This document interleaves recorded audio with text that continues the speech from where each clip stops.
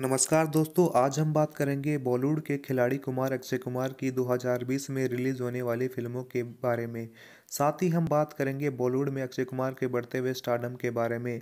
दोस्तों, बात करें फ़िल्मों की तो 2020 में अक्षय कुमार की चार फ़िल्में रिलीज़ होंगी, जिनमें शामिल है फ़िल्म सूर्यवंशी, लक्ष्मी बॉम्ब पृथ्वीराज और बच्चन पांडे।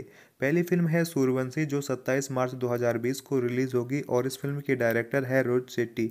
इस फ़िल्म में आपको सिम्बा और सिंगम जैसा ही एक्शन देखने को मिलेगा। दोस्तों, अब बात करते हैं अक्षय कुमार की दूसरी फ़िल्म लक्ष्मी बॉम्ब की। तो ये फ़िल्म 7 जून 2020 को रिलीज़ होगी और इस फ़िल्म के डायरेक्टर है राघव। ये साउथ की superhit horror comedy film Kanchana का हिंदी रीमेक है। दोस्तों, अक्षय कुमार की तीसरी फ़िल्म है पृथ्वीराज। ये फ़िल्म दिवाली के दिन रिलीज़ होगी और इस फ़िल्म के डायरेक्टर है चंद्र प्रकाश द्विवेदी। इस फ़िल्म में महान योद्धा पृथ्वीराज चौहान को दिखाया गया है। दोस्तों अब बात करते हैं अक्षय कुमार की चौथी फ़िल्म की। चौथी फ़िल्म है बच्चन पांडे। इस फ़िल्म में अक्षय कुमार काफ़ी दमदार रोल में आपको नज़र आएँगे। इस फ़िल्म के डायरेक्टर फरहाद सामजी है और इस फ़िल्म के प्रोड्यूसर साजिद नाडियाड वाला है। ये फ़िल्म क्रिसमस को तो रिलीज़ होगी। तीनों खानों का राज है और इन्हीं को बॉलीवुड का असली सुपरस्टार कहा जाता है।